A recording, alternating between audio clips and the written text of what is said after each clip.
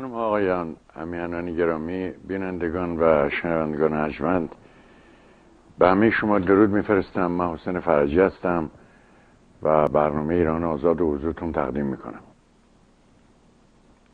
همطور که آگاهید قرار هست هفته آینده همیانان گرامی یکی از پرخرجترین کنفرانس هایی که در میهن ما بی سابقه بوده در تهران برگزار بشه کنفرانس کشورهای غیر متحد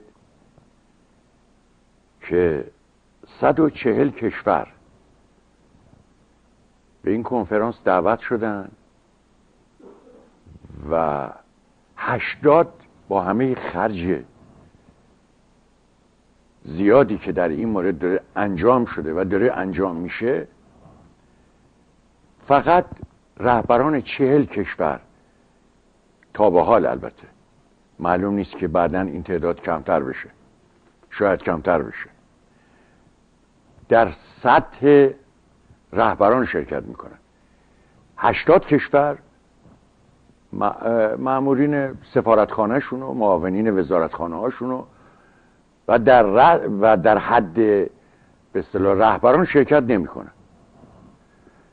مثلا تا دیروز قرار بود که آقای ولادیمیر پوتین به عنوان میهمان ویژه در این کنفرانس شرکت بکنه که اعلام شد ایشون نمیان به تهران.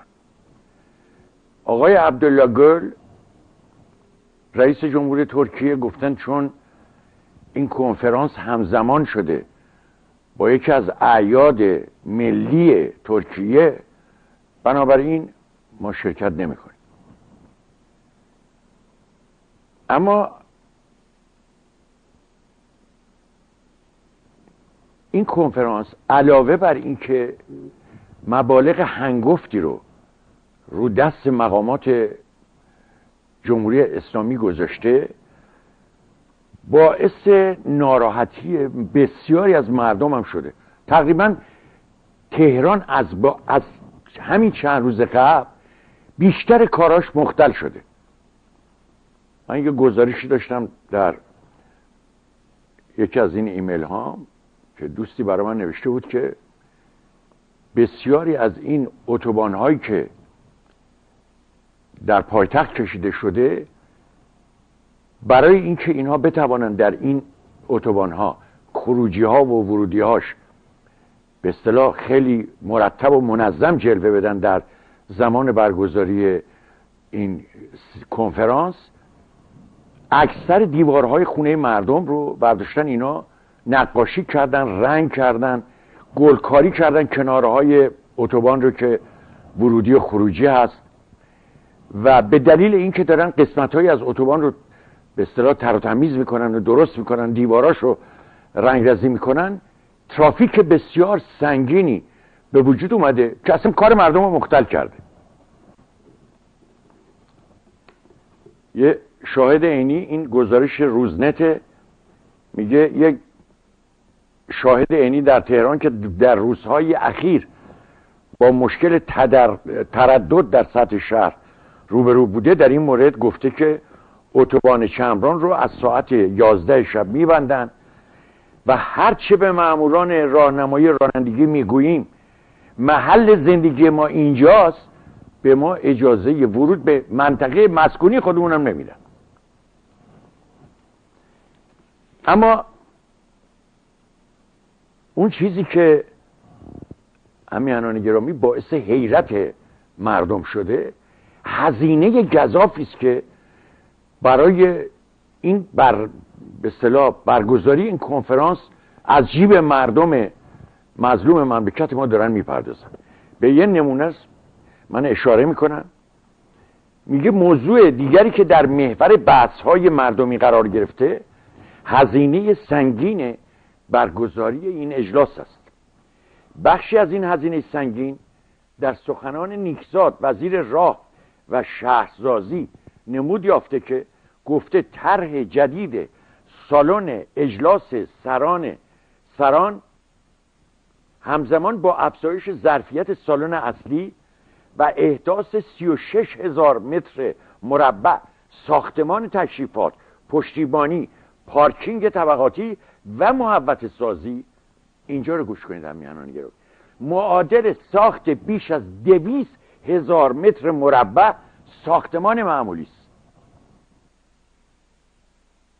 یعنی صدها خانه می‌تونستن اینا از پول اینا دویست هزار متر مربع. از این پولی که بابت یک قسمتی از این سالن دارن انجام میدن خانه بسازن برای مردم. حداقل برای این زلزله زده های ما. علاوه بر این این گزارش روزنته. گردانندگان جمهوری اسلامی تمام تلاش خود را برای دور کردن مردم از تهران در روزهای برگزاری اجلاس به کار بستند دعوت از مردم برای سفر به شهرهای مختلف ارسال پیامک های متعدد درباره ارزان شدن تورهای سیاحتی در ترکیه، دوبه، ارمنستان و اعطای کمک هزینه سفر به کارمندان تنها بخش کوچکی از این جریانه. اینا تا چند روز قبل می‌گفتن این تورهای ترکیه، ارمنستان، دوبه نمی‌دونم این کشورها توش تمام فساده. و چند تا از نمایندگان مجلس در مجلس اعلام کرده بودند که دولت بایستی جلوی این افتی ها رو بگیره. و اجازه نده مردم ایران میلیاردها پول بردارن ببرن در این کشورها و خرج لحو و لعب بکنن. حالا خود دولت دوره مردم رو تشویق می‌کنه که در مدت برگزاری این کنفرانس برن به ترکیه برن به ارمنستان برن به دوبی برن به نمی‌دونم مالزی. یعنی سیاست های چندگانه دیگه همیانان گرام میگه این تلاش ها در حالی صورت می‌گیرد که دو ماه قبل وزیر ارشاد در همین مورد از همین که خدمتتون عرض کردم. در این میان نهادهای امنیتی با مراجعه به منزل شهروندانی که خانه های آنها در اطراف محل اجلاس قرار دارد به آنها توصیه کردند که در این روزها از تهران خارج شوند و منازل خود را در اختیار آنها قرار دهند. به این شهروندان پیشنهاد شده که از امکانات سازمان گردشگری در استانهای مجاور استفاده کنند و این سفر را با هزینه دولت انجام دهند.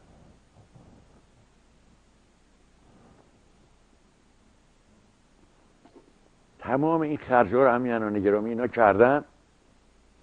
تازه گزارشات ضد و نقیز حاکی از اونی که شاید این چهل نفر از رهبران کشورهایی هم که قرار بوده شرکت بکنن اونها هم شرکت نکنن.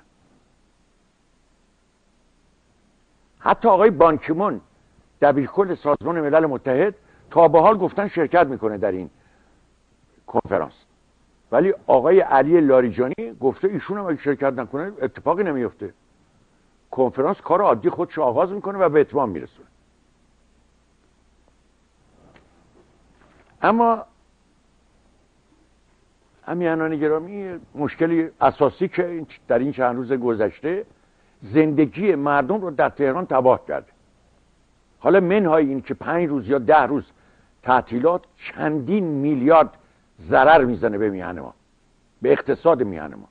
ولی برای رژیم جمهوری اسلامی همیانان گرامی اینو مشکل نیست که.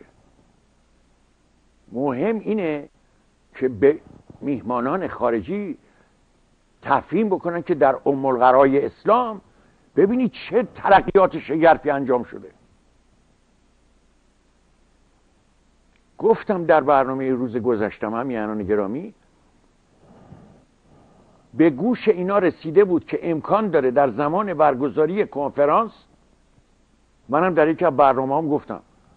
گفتم میشه در هر کشوری که رهبرانش قراره در این کنفرانس شرکت بکنن رب با این کشورها تماس گرفت و به این کشورها تفهیم کرد. هرچند که می‌دونن که چه جنایاتی در این مملکت ما داره انجام میشه بر علیه دگراندیشان. حالا رهبران شما می‌خوان شرکت کنن در این کنفرانس که در این کشوره؟ حالا به دلیل همین حرفایی که گفته شده و بسیار از سازمان سیاسی اعلامیه دادن مردم رو دعوت کردن که این میهمانان که میان به یه نحوی خودشون رو به اینا نزدیک بکنن. به خاطر همین تمام تهران رو تقریبا یه جب امنیتی شدید گرفته. آقای سردار رادان گفتن ما کسی شوخی نداریم. من نمی‌دونم شوخی یعنی چی. شما یه کنفرانسی داریم برگزار می‌کنی با کی شوخی نداریم؟ منظورش مردمن. گفته در حفظ امنیت شهر تهران در زمان برگزاری این کنفرانس با کسی شوخی نداریم. منظور اینی که اگه کسی به خودش اجازه بده که بیاد یه برنامه طرح بکنه که خودش نزدیک بکنه به این نمایندگان این کشورها اگه کشته شد خونش به عهده خودشه با کسی شوخی نداریم. کی اینو میگه؟ یه جانی بلفطره که به همراه سعید مرتضوی و دستور از مقام معظم روزخان بزرگ دستشون به خون بسیاری از بچه های ما در مملکت آغشت است. کهریزک در خیابان های تهران. و افتخارم می‌کنن به این کاراشون. اما این جالب همیانانی گرامی. در این شرایط بلبشویی که در این مملکت هست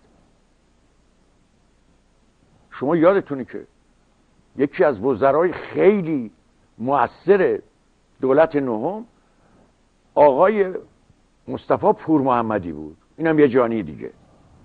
گفتم که در این رژیم شما برای اینکه ترقی کنید باید نشون بدید آدم قسی القلبی هستید. آدم شکنجهگر هستید. آدمی هستید که صدها نفر رو اگه جلو شما سر ببرن شما خم به ابرو نمیارید. چون خودتون هم از اونا هستید. اگر این شرایط رو داشتید ترقی می‌کنید. وگرنه بایستی یا گوشنشین باشین. یعنی کنج خونتون یا در زندان باشین یا فرار کنین. آقای منوچهر متکی وزیر خارجه دولت نهم و قسمتی از دولت دهم می‌دونید که ایشون یه مدتی سفیر ایران در ترکیه بود. به عنوان عنصر نامطلوب یواشکی به تهران گفتن ایشون رو فرا بخوانید. همین آقای گنجی اکبر گنجی هم با ایشون همکاری می‌کرد. در سفارت جمهوری اسلامی در آنکارا. در زمانی که ایشون سفیر بود یعنی آقای منوچهر متکی بسیاری از میهم پرستان ایرانی از طیف های مختلف دستگیرشون می‌کردن بیهوششون می‌کردن با یه وسیله میزن تو سر اینا مینداختن تو اتومبیلا صندوق عقب اتومبیلا میبردن. اون برای مرز اعدام می‌کردن. ده ها مورد سند وجود داره. ایشون وزیر خارجه آقای احمدی نژاد. تعجب نداره. پور محمدی جوانی معروف جزو کسانی که هزاران همیهن ما رو به فتوای آقای خمینی کشتن ایشون جزو اونا بود. معاون وزارت اطلاعات بود. وزیر اطلاعات شد. وزیر کشور شد و بعد با یه جانی دیگه مثل احمدی نژاد و جانی های دیگه مثل رحیم مشایی نتونست کار کنه استفاده. حالا این دوتا جانی منوشر متکی و آقای پور محمدی هفته گذشته یه نامه نوشتن به روزخان بزرگ که چون وضعیت مملکت در همه زمینه ها به بنبست رسیده اجازه بدید یک دولت فراملی یعنی یک نهاد ببخشید دولت نه. یک نهاد فراملی به وجود بیاد که کارهای مملکت رو چه اقتصاد چه نمی‌دونم امنیت همه رو چه سیاست خارجی؟ مثل که تا حال مثلا نبوده. خب تا حال همطور بوده. این مقام معظم روزخان بزرگ که اون بالا میشست نشسته همه کارا رو سرک می‌کشه. شما یک کار کوچک تو اون مملکت پیدا کنید که این آقای رهبر دخالت نکنه. رهبر روزخانه امکان نداره. برای این حتی احمدی نژاد هم نتونست تحملش کنه. چون ایشون همه کاره اون مملکته. و میگن چرا اشکالات که تو مملکت پیش میاد از رهبر هزینه می‌کنیم؟ پس از کی هزینه کنن؟ رهبری که چرا قوه می‌ذارن براش که صورتش نورانی بشه؟ مردم خرکن دیگه.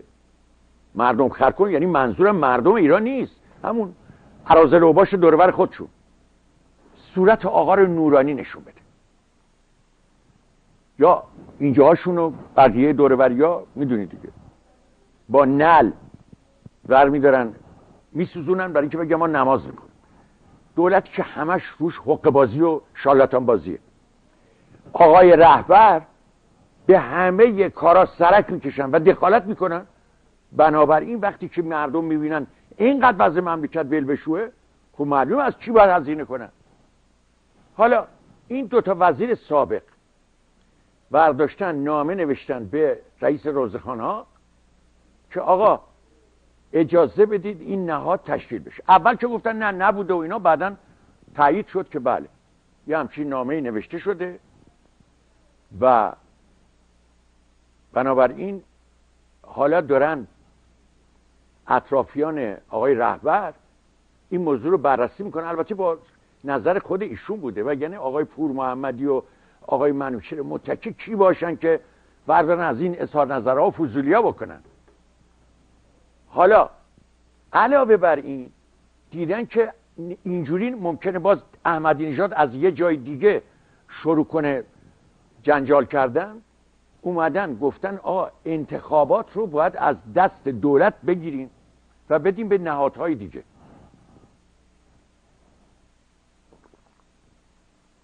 روزنامه ایران وابسته به دولت نوشته این مسخره است. در همه جای دنیا وزارت کشور یا مراجع مسئول دولتی میان انتخابات برگزار می‌کنن.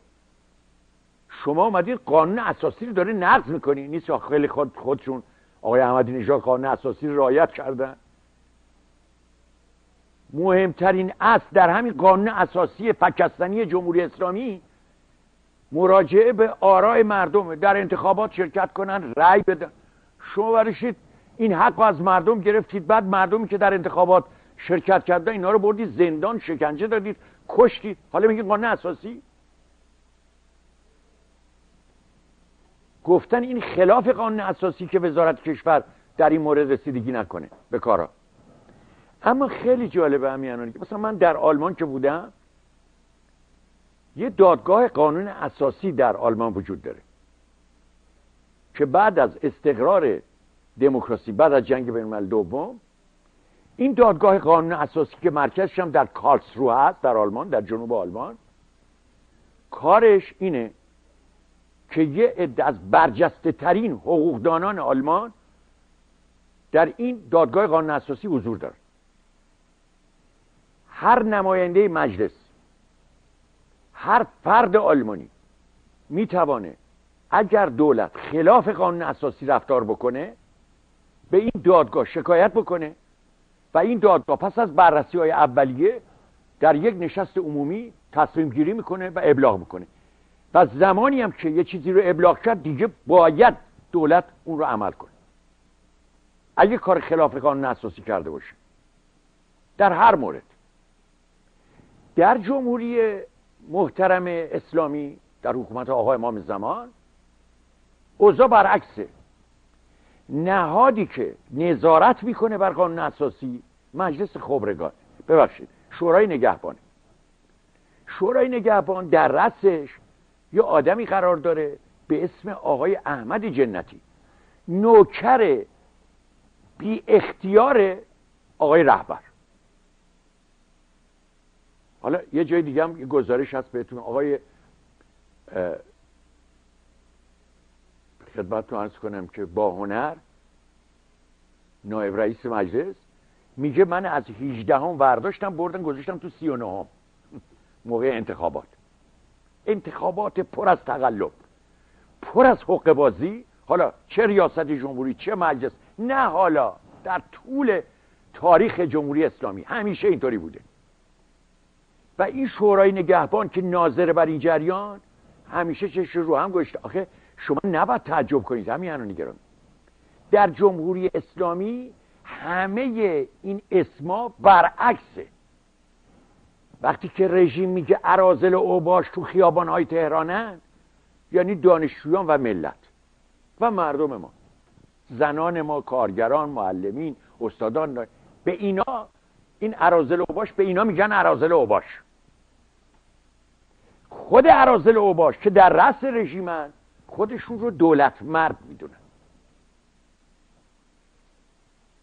اینی که همیهنان گرامی هیچ کس حرفای اینا رو نمیپذیره و تره خورد نمی‌کنه برای حرفای اینا. امشب یه گزارش بود امروز که در مناطق زلزله زده سپاه پاسداران عده زیادی از دانشجویانی که رفته بودن به کمک مردم و این کمک های مردمی رو در انبارها گذاشتن یورش بردن. این اشراب و اینا که تو انبارها بوده از اینا گرفتن. عده زیاد بوده سی و خورده نفر دانشجویان توقیف کردن.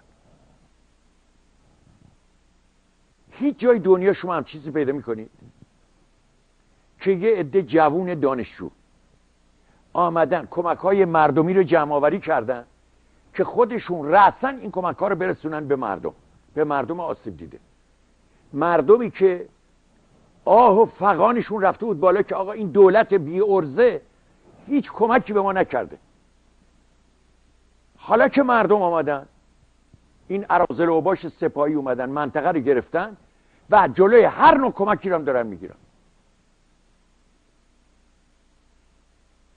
تمام اجناسی که گرفته بودن این دانشجو جمع کردن از اینا گرفتن گفتن کمک از کانال ما باید انجام بشه.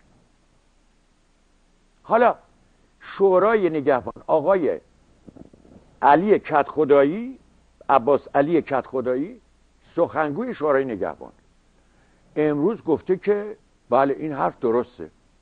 انتخابات نباید وسیله وزارت کشور انجام بشه. زیر قانون اساسی خودشون زدن ها. قانونی که خودشون تدبین کردن که از همون اول البته آقای خمینی گذاشت زیرشون نشست روش. آقای کت خدایی گفته که نخه می‌تونه این انتخابات به وسیله نهادهای دیگه انجام بشه. آخه تو رو مثلا کجا؟ وزارت کشور باید انتخابات انجام بده. اون که پر از تقلب بود. حالا اینا نبادا بر اینکه نبادا احمدی نژاد در انتخابات بعدی تقلب بکنه چون همدیگه رو دارن لو میدن دیگه. و اینا کسافتکاری بیشتر آبروشون بره. حالا می‌خوان انتخابات از دست وزارت کشور بگیرن بدن به دست شورای نگهبان. که بوده در حقیقت همطور. یا بدن به دست مثلا ناجا نیروی انتظامی جمهوری اسلامی. یا بدن سپاه پاسداران. حفظ ظاهر هم نمی‌تونن دیگه بکنن. برای اینکه کار به اونجا رسیده که دیگه داره کنترل از دستشون در میره همیانان گرام. اما یه مطلب دیگه ایش خواستم به آگاهیتون برسونم. فساد مالی حاکم بر این رژیم. از چشم هیچ کس پوشیده نیست. همه می‌دونن. یه زمانی بود من یادمه در زمان همین آقایان اصلاحاتچی مجلس ششم. مجلس ششم یک لایحه‌ای رو تصویب کرد که در جمهوری اسلامی هیچ نهادی نمی‌تونه مسئول باشه از تفتیش تفتیش و تحقیق. که بلافاصله شورای نگهبان دخالت کرد و گفت سازمان ها و نهادهایی که زیر دست مقام معظم رهبری هست نمی‌تونه هیچ مقامی درش تحقیق و تفحص بکنه. شما فقط بیاین یه لیستی تهیه کنید که کدوم نهادی زیر نظر مقام معظم روزخان بزرگ نیست. این جالبه. حالا اینا گوش نکردن بلند شدن رفتن در صدا و سیمای جمهوری اسلامی.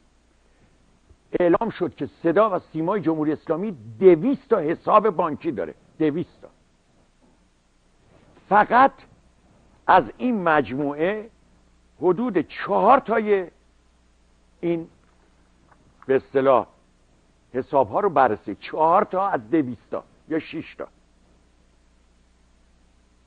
ببخشید پنج حساب از دویست حساب. این پنج تا حساب که بررسی کردن گوش کنید همین در زمانی که آقای سردار علی لاریجانی همینی که الان در رأس طبیله مجلسه. ایشون یه موقع رئیس صدا و سیما بود. فقط پنج تا حسابشون رو کنترل کردن. 525 میلیارد تومان هیپامل شده بود. 525 میلیارد تومان برای پنج تا حساب هیپومل شده بود. که همین آقای رئیس طبیله مجلس در اون موقع نطق خیلی محترمانه ایراد کردن. گفتن همه این تحقیقات کشکی بود. همین با همین لحظه کشکی بود.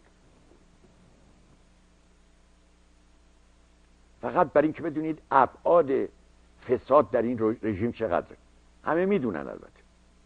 هفته گذشته یه خانومی به اسم ریحانه اجازه بدید. اسم دقیقش خودم بگم براتون که اشتباهی نکرده باشم. گفتن که بله سهر ریحانی.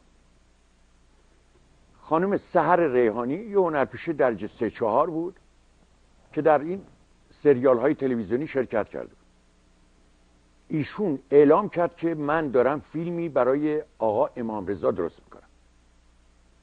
و جریان آشنایی منم این بوده که من چون در چند کنکور ریاضی سراسری جهانی شرکت کردم و شاید اول شدم اینی که رفتم در خراسان به خدمت آقای مصطفی تبسی رسیدم. ایشون راجع به کار من پرسیدن راجع به اینکه چطور شده من این برنده چند دوره این کنکور سراسری شدم و این حرفا من رو مورد تفقد قرار دادن و گفتن از خدا چی می‌خوای؟ این عین نوشته خانوم ریحانی و من گفتم که دلم می‌خواد یک پول زیادی داشته باشم معروف بشم و بتونم یه خدمتی بکنم به آقا امام رضا. ایشون گفتن من یک میلیارد و پانصد میلیون تومان در اختیار شما قرار میدم. چون شما بالاخره هنرپیشه هم بودی تو کارهای هنری بودی بیا یه فیلمی راجع به آقا امام رضا درست کن. و ایشون 700 دقیقه 700 دقیقه فیلم مستند درست کرد. شما می‌دونید وقتی کسی 700 دقیقه فیلم درست می‌کنه اینو نمیشه در سینما نشون داد نه در یک سریالی. حالا فیلم داره خاک می‌خوره. حالا کاشف آمده روزنامه قسمت هنری روزنامه کیهان که از خود اینا هست روزنامه فحاش کیهان تهران زیر دست آقای شکنجهگر آقای حسین شریعت بداری نوشته که ایشون اصلا طبق مدارک و تحقیقات که ما کردیم نگاه کنیم. چند روز پس از این گفتگو روزنامه کیهان نوشت یک منبع آگاه در بنیاد ملی نخبگان در گفتگو با خبرنگار ادب و هنر کیهان ادعای سهر ریحانی هنرپیشه سینما را در زمینه نخبگی و مدال آوری در المپیاد ریاضی جهانی بی اساس خواند و گفت نام این فرد در فهرست نخبگان جامعه دانشگاهی و مدال آوران ایران وجود ندارد. گفتنی ریحانی در گفتگو با یکی از سایت های خبری مدعی شده بود که در چهار دوره المپیاد ریاضی حائز مقام اول شده بود و از همین طریق توانسته از آستان قدس رضوی مبالغ کلانی را برای تهیه و کارگردانی فیلم مستندی درباره امام رضا دریافت کند حالا این جریانات در اومد و گند کار در آمد. خیال می‌کنید چی شد؟ آقای مصطفی تبسی. بلافاصله یک بیانیه صادر کرده که شرایط در آستان قدس رضوی و بارگاه آقا امام رضا با جای دیگه فرق داره. شما مقیاساتون مقیاسای مادی هست. اینجا مسئله معنویته عرفانه. اینا رو ایشون گفتن.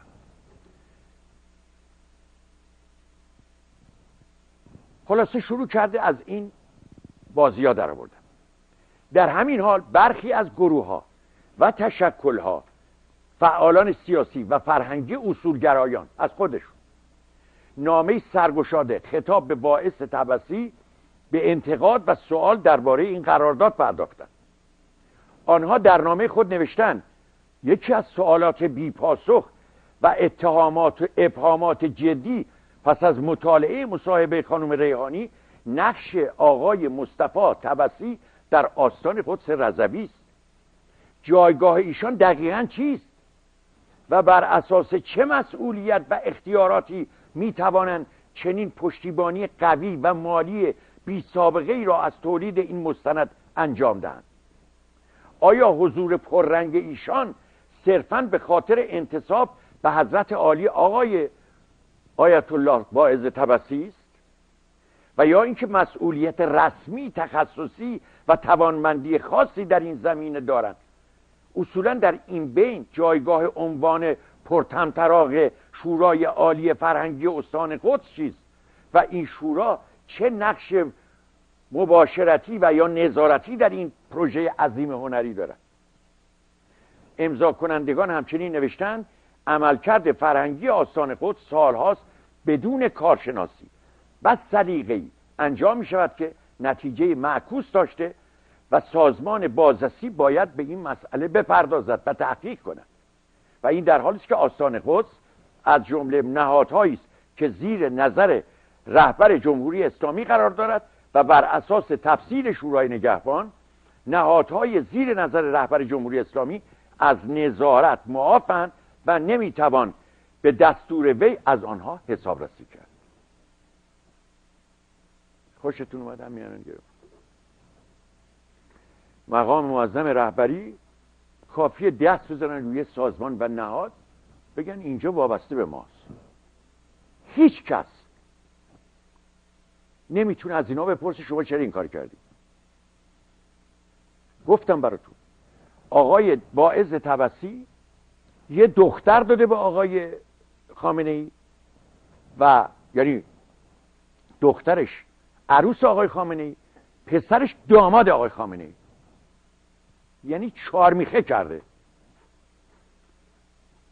خب تا زمانی هم که اینطوریه شما خیال می‌کنید به خاطر مثلا چندین میلیارد تومن یا مثلا فرض کنید چهار پنج میلیارد دلار.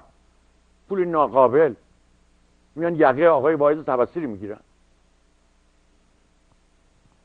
شما می‌دونید ثروت آستان قدس رضوی چقدر همیانان گرامی؟ تقریبا نصف بیشتر خراسان. زمینهاش کارخانجاتش خانهاش متعلق به آستان قدس رضوی.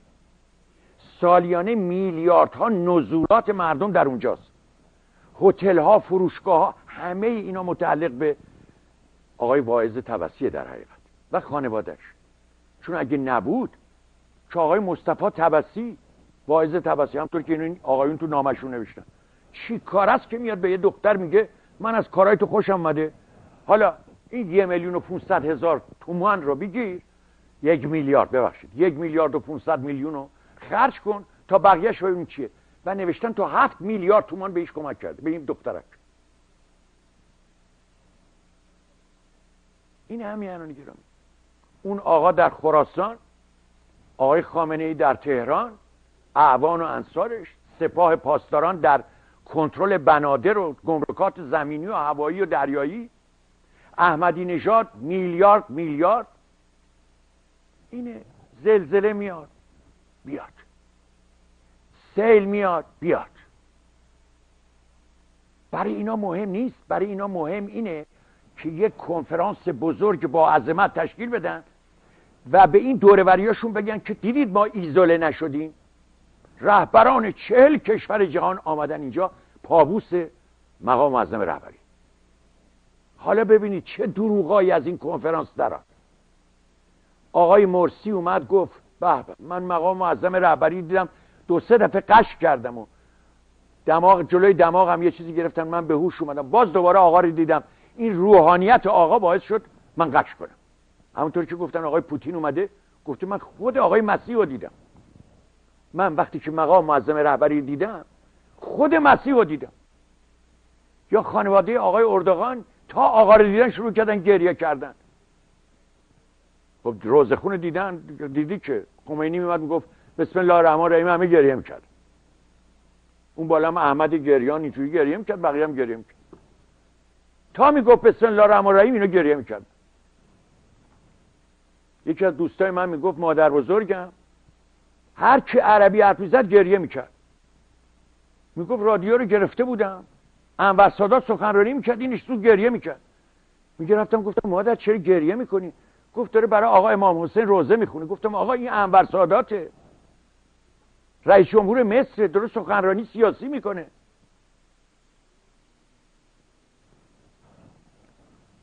بله مملکت ملک شخصی آقایونه.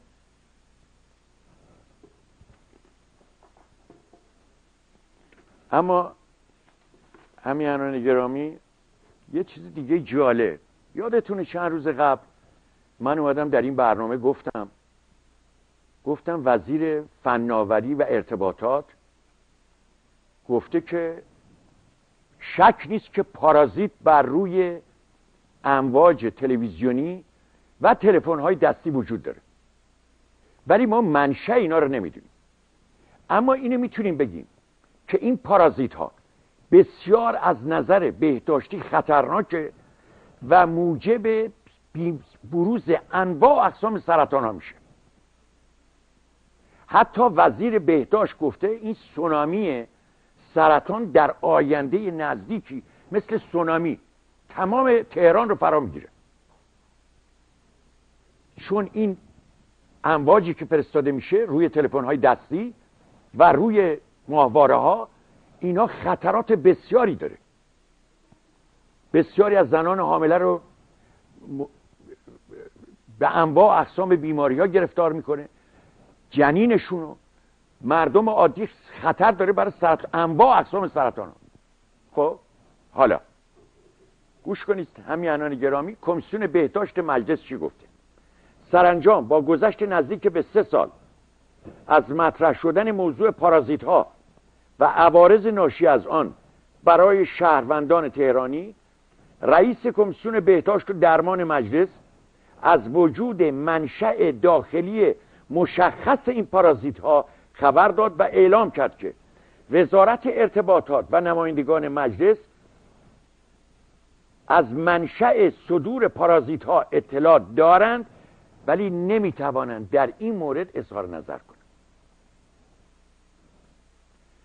روز گذشته تقی رضا تقیپور وزیر ارتباطات و فناوری اطلاعاتی اعلام کرد پارازیت های اخیر مخابراتی از سوی وزارت ارتباطات ایجاد نشده و این وزارتخانه در, در صدد کشف منشأ ارسال پارازیت هاست و در ادامه با ابراز بی اطلاعی از منبع ارسال پارازیت ها نسبت به آثار و عواقب سو و مخرب آنها هشدار داد و او همچنین تاکید کرد به دفعات متذکر شده شده ایم که این پارازیت ها که بر روی تلفن های دستی و روی ماهواره ها فرستاده می شود اونها رو برای نمایندگان ابراز کردیم. برای نمایندگان مجلس.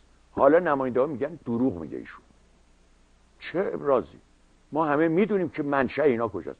آقا نمیگه. من همون شب تو برنامه گفتم. اون روز یا شب بود یا روز گفتم در برنامه. گفتم همه اینا می‌دونن که این پارازیت ها رو وزارت اطلاعات به اتفاق سپاه پاسداران میفرسته. بنابراین یه چیز مخفی نیست که حالا میگم بله ما می‌دونیم ولی نمی‌تونیم بگیم.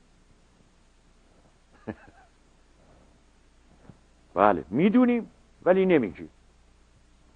راحت کردن خودشونو. اون طبیله مجلس برای همین به وجود اومده. میلیون ها حقوق میدن به هر کدوم از اینا. ده میلیون تومان. براتون آوردم خوندم همین اینجا. به هر نماینده مجلس. تازه دبه در آوردن. میگن با این پول چیکار کنیم؟ نمی‌تونیم خونه بگیریم. تازه پول خونهشون هم میدن. گفتن خونه رو بریم پیدا کنی ما پولشو میدیم. برای اجاره و خرید و هر چی. اتومبیل بهشون میدن. خرج سفر میدن. خرج پذیرایی از حوزه انتخابیهشون میدن. بازم میگن کمه. اما این جالبه. عضو انجمن حمایت از حقوق کودکان. گوش کنید همین نگران. از دو برابر شدن شمار ازدواج کودکان زیر ده سال. در ایران در یک دور زمانی سه ساله خبر داده و گفته در سال 89 بیش از 700 کودک زیر ده سال در ایران ازدواج کرد. فرشید یزدانی در گفتگو با خبرگزاری مهر اعلام کرد در سال 89 تعداد ازدواج های کودکان زیر ده سال 716 مورد بوده که نسبت به سه سال قبل آن حدود دو برابر شده.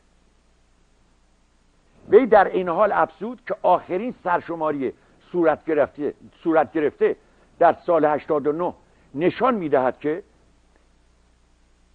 343 هزار کودک زیر 18 سال در ایران ازدواج کردند که در این میان 43 هزار کودک در زمان ازدواج 10 تا 14 ساله بودن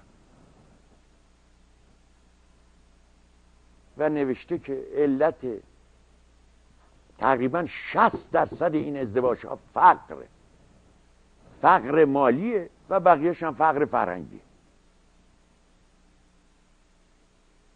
اصلا حیرت آور همیانان گرفت.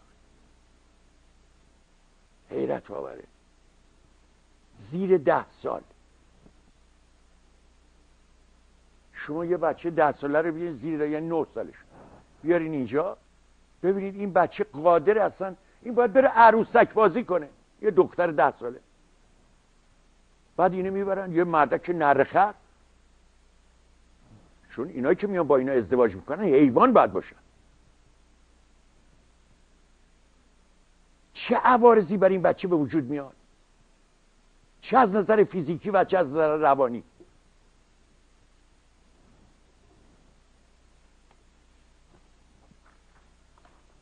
بله. بعد یه خبر بسیار خوبی که اول خبرم اول برنامه هم بهش اشاره کردم همیانان گرامی این هستش که جمهوری اسلامی حالا داره گندم می‌خره گفتم. تقریبا یک میلیون و پانصد هزار تن گندم باید بخرن. از آلمان از بسیاری از کشورهای اروپای شرقی و از کشورهای مثل هلند اینا هم دارن می‌خرن حالا اون مسئله نیست. مسئله عمده اینه که در این وضعیتی که به وجود آمده بین 60 تا 80 میلیارد دلار اینا در سالهای گذشته واردات داشتن ایران. یعنی تقریبا ما دیگه هیچ چیزی نداریم. که در ایران بهش بنازیم بگیم آقا کشاورزی داریم باغداری داریم دامداری داریم چای و برنج و نمی‌دونم پنبه داریم. هیچی. همه رو نابود کردن. و اینه که من با وجود که در برنامه هم گفتم ولی بار دیگر میگم این مسئله رو. به دلیل اینه که چون همه اینا رو وارد می‌کنن حالا که این تحریم ها یقه اینا رو گرفته اینا مستصل شدن. هیچ کاری نمی‌تونن بکنن. و مجبورم برای بقول خودشون دور زدن این تحریم ها دو برابر سه برابر قیمت بپردازن. و من بهتون بگم همین گرامی در این دنیای وانفسا هیچ کشوری نیست که برعکس این جمهوری اسلامی که همه منافع مردم ما رو در خدمت سوریه و حزب الله و مقتدا صدر رو نمی‌دونم سید حسن نصرالله هیچ کشوری حاضر نیست حتی یک گوشه از منافع ملی سابیده بشه. اجازه نمیدن. و وقتی که یک کشوری مستصل میشه مثل جمهوری اسلامی و یک عده بی ارزه بی کفایت هم در رسشن اینا بیرحمانه اونا رو غارت می‌کنن. بیرحمانه غارت می‌کنن. و هیچ خجالتی هم نمی‌کشن از این کار. ایران اعلام کرده بابت فروش برق 400 میلیون از عراق طلبکاری عراق اعلام کرده 16 میلیون.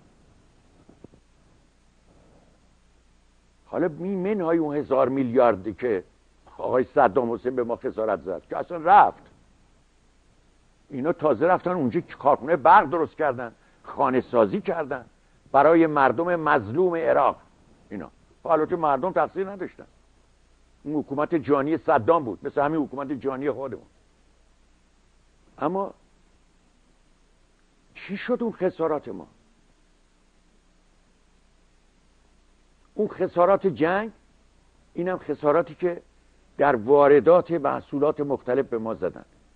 هیچ چیزی تقریبا نداریم. کارخونجات وقت شکسته کشاورزی زمینگیر همش واردات از میوه و گندم و نمی‌تونم خشکبار و